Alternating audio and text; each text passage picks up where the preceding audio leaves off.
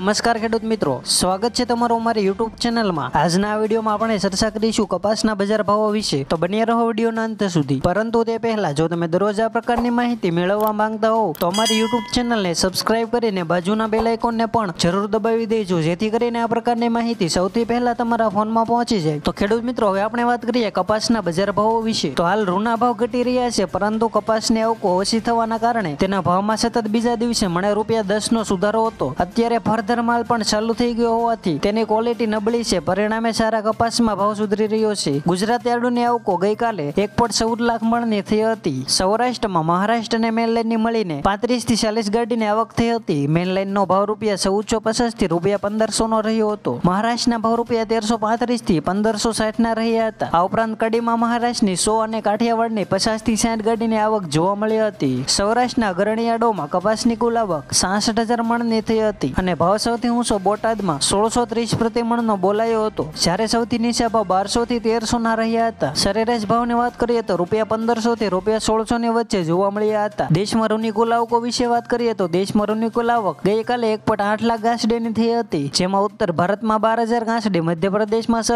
હજાર ઘાસડી ગુજરાતમાં સત્રીસ હજાર ઘાસડી અને મહારાષ્ટ્રમાં સોત્રીસ હજાર ઘાસડી કપાસની આવક થઈ હતી